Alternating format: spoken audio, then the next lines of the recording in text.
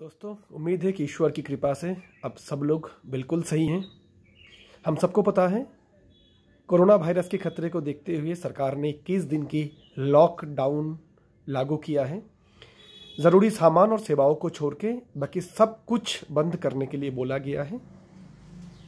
इस समय में स्मार्ट वैल्यू को भी अपने सारे ऑपरेशंस को रोकना पड़ा सरकार की गाइडलाइन के अनुसार। और हमारे जो एनुअल क्लोजिंग डेट है, उसको भी आगे बढ़ा दिया गया है। जैसे लॉकडाउन खत्म होता है, परिस्थिति समान, सामान्य होता है, उसी अनुसार कंपनी आगे आपको काफ़ी समय देने वाले हैं हम सबको अपने अपनी अचीवमेंट्स को पिन को पूरा करने के लिए आप इसके बारे में बेफिक्र रहिए। पिछले हज़ार हफ़्ते यानी लगभग 20 साल से हमारे स्मार्ट वैल्यू परिवार हर एक चुनौतियों को सामना किया है और जीत हासिल की है।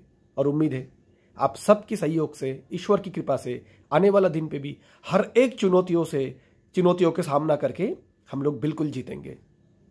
दोस्तों, इस समय सरकार, केंद्र सरकार, राज्य सरकार द्वारा जो भी गाइडलाइन दिया जा रहा है, जैसे कि बार बार हाथ धोना हैंड शेक ना करना सोशल डिस्टेंसिंग यानी सामाजिक दूरी बनाए रखना, भीड़ से बिल्कुल दूर रहना और सच में अगर इस परिस्थितियों से हम मानव जाति को, पूरे ब्रह्मांडों को बचाना चाहते हैं तो बस एक ही काम कीजिए, कृपया से हाथ ज़ोर से निवेदन कर रहे, करते हैं हम सब कि आप घर पे रहिए, घर पे रहिए और घर पे रहिए।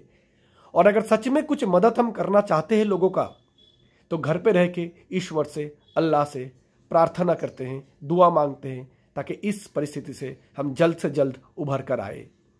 दोस्तों हमारे कंपनी मैनेजमेंट हर एक तरीका अपनाया है इस परिस्थितियों से लड़ाई करने के लिए।